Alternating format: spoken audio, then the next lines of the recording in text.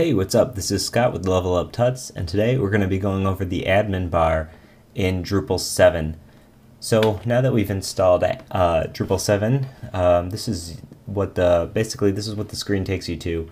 Um, this is your site. If you are logged in um, and you have access to the admin bar, this admin bar will show up here. Um, these are the main links, and these are your shortcuts right here. If you want to hide your shortcuts, if you don't use them, you can just click this arrow and they're hidden. Um, so first off, I want to show you uh, this button always takes you home. Uh, next up is your dashboard. And this is good for site uh, administrators or content administrators, people who are going to be using the site um, and need some sort of user-friendly interface to sort of see what's going on. And this dashboard can be configured. As you can see, it's uh, pretty blank. Um, it gives you a couple of blocks here to begin with, this who's new, search form, and recent content.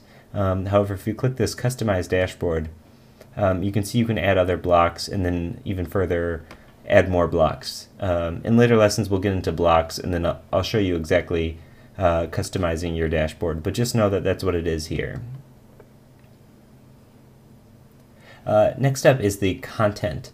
So um, content will take you to the same place that this find content button will take you. Um, right now we have two what are called content types. Um, and that's what Drupal installs with. There's article and basic page. Um, article is sort of like a blog post, and basic page is just a page. Um, so right now, if we were to click Add Content, it would then ask us if we wanted to create an article or a basic page. And again, in later tutorials, we're going to be going over content types uh, in greater detail and how you can create your own content types um, for greater control over your site. Also in content, you can see you have access to um, published and unpublished comments. If you are using Drupal's commenting system, this is where you'd be going for that. Here is structure. Structure is where you can get at things like blocks, um, your content types, like I mentioned before. This is where you would um, change uh, or create new content types, your menus, and your taxonomy. And so some of these things might seem a little weird right now because uh, Drupal likes to use its own language. So taxonomy, think of it as sort of like tags. Um, um, you're tagging a post or you have some sort of classification, you know, some sort of tag for your, your content. Uh, menus, you know, is pretty much navigation or anything like that. Um, menus can get really, uh, really robust. You can, you know, do any sort of nesting and uh, creating all sorts of multiple navigations um, that you can then use as blocks, which are right here, to show up on your site somewhere else. And blocks can be all sorts of other content. Again, we're going to get into this more, but think of a block as just sort of a chunk of content that you're going to set somewhere on your site. All right, and next is appearance.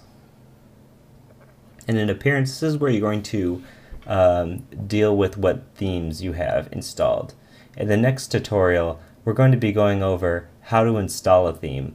Uh, but for right now, you can see by default, Bartik is the theme that's enabled, and then uh, Seven is the is another theme that's enabled, but it's not set as your default, so you don't see it.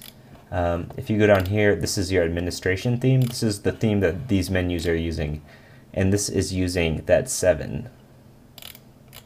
As you can see, there's also Garland, which is an older theme that uh, um, Drupal's had for a little while. And then Stark is, you know, as, as you can see, it's pretty blank here. Um, if some themes have different settings, you would click here for settings, and then, um, you know, here you can toggle logo, site name, pretty much any of this stuff. Um, as you'll see in the next lesson, uh, more advanced and different themes are going to have different settings. As you can see, this is the global settings. We also have, this is the settings for Bartik. So if we wanted to get in here and just change the, the header color for whatever reason in here, um, you could do that without having to touch the CSS. And then Seven, these are 7s. Okay. Next up is people. These are the users of your site. Um, this is a pretty powerful place because uh, not only being able to add users and um, delete them or whatever, you also have access to all of their permissions. And permissions play a big role when you're dealing with all sorts of content in Drupal. Um, you can pretty much decide who sees what and who can access and change what. Um, like I said, permissions are a very powerful thing in Drupal. And uh, also, in most of these menus, they come with this filtering, so you could filter by, you know, only show me administrators. It's pretty basic. Um, works nicely if you have lots of users or lots of content. So let's just reset this.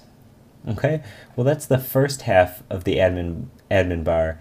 In the next tutorial, we're going to go over the last half, um, and we're going to go over adding shortcuts. Once again, this is Scott with Level Up Tuts, and thanks for watching. Bye.